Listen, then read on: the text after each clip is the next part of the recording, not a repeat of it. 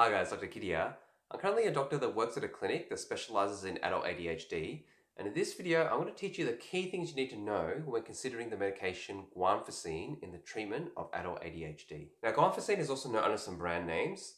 One is Intuniv, which is a long-acting version, and Tenex, which is a short-acting version. It is a non-stimulant medication, and the main clinical situations that I tend to use it are rejection-sensitive dysphoria, as an adjunct to stimulants in patients that have significant sleep issues, patients that do not tolerate stimulants or atomoxetine, or patients that still have symptoms despite maximal therapy with stimulant medication. I'd like to start with the first main reason that I use guanfacine, which is for rejection-sensitive dysphoria.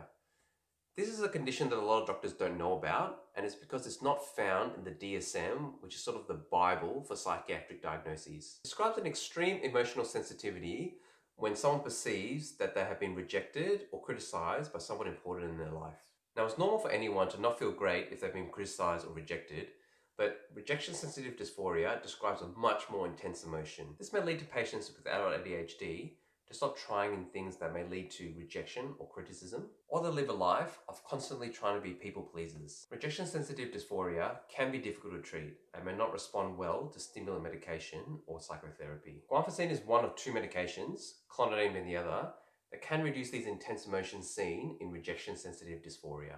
The next situation I tend to use guanfacine is in patients with adult ADHD and concurrent sleep issues. Unlike the stimulant medications, which can impair the ability to sleep, Guanfacine has a tendency to be very sedating.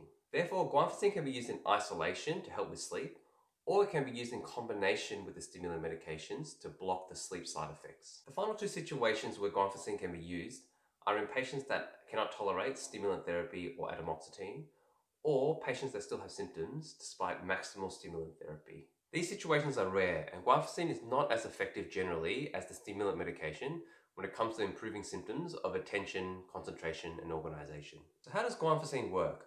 Well, guanfacine is known as an alpha-2 receptor antagonist, meaning it blocks the effects of a chemical known as norepinephrine or noradrenaline, depending on the country that you're from.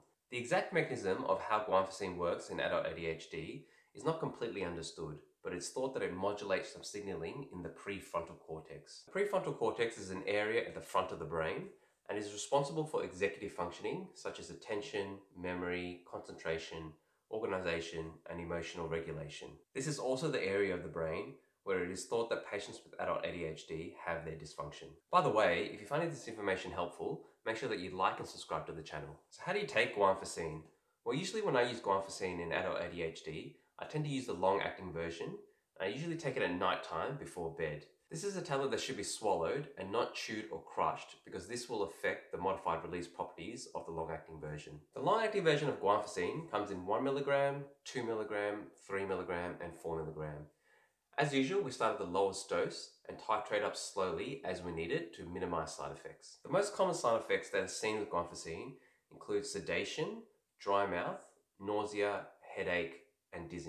Guanfacine also lowers blood pressure and it's really important that patients taking this medication have their blood pressure monitored regularly by their doctor. Another thing to be mindful of when taking guanfacine is that it can be quite sedating, so other sedating substances should be avoided, such as alcohol, benzodiazepines, and other sleeping tablets. Another note I like to make about guanfacine in adult ADHD is that the majority of studies at the time of recording this video has been done in patients only under the age of 17, Therefore, a lot of the information in this video is extrapolated from these studies and also just from my personal clinical experience. So if you think guanfacine is for you, please see your doctor for your specific case.